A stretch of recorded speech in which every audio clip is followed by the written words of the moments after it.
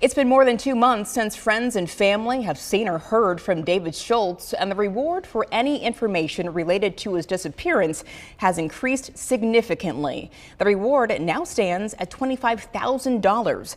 That's up from the $2,000 Sac City was initially offering. The extra money comes from the county's American Rescue Plan. County leaders requested the increase. Now, volunteers have searched more than 100,000 acres for the 53 year old who disappeared while delivering hogs to Sac City.